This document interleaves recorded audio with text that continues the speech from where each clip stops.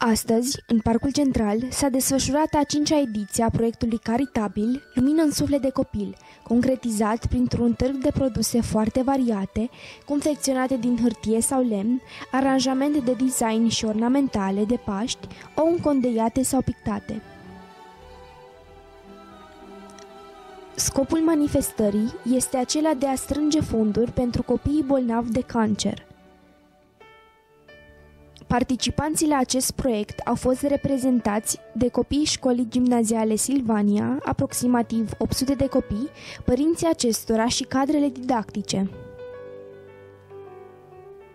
Partenerul acestui proiect a fost primăria orașului Șimleu Silvaniei, primarul orașului Septimiu Cătălin Țurcaș, precum și părinții elevilor. Primarul Septimiu Cătălin Țurcaș a reușit să aducă multă mulțumire pe fețele copiilor, trecând pe la toate standurile și cumpărând frumoasele exponate. Prin acest gest a reușit să încununeze munca și dăruirea elevilor și anume acelea de a sări în ajutorul semenilor aflați la greu.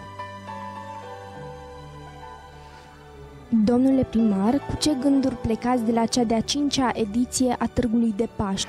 Cu aceeași bucurie ca și în fiecare an, cu bucuria că, ia uite, copii, elevi ai școlii Silvania fac un gest extraordinar în această perioadă, adică din munca lor fac ca cei copii bolnavi de cancer să fie ajutați. Sigur, într-o mică măsură, dar de fapt acest gest extraordinar în care munca sute de copii este adunată aici în această locație frumoasă este o mare bucurie și evident ca și primar al Șimleului și primar al lor sunt mândru de aceasta.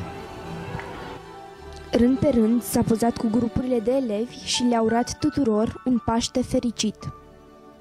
Pentru dumneavoastră, Diana Teieru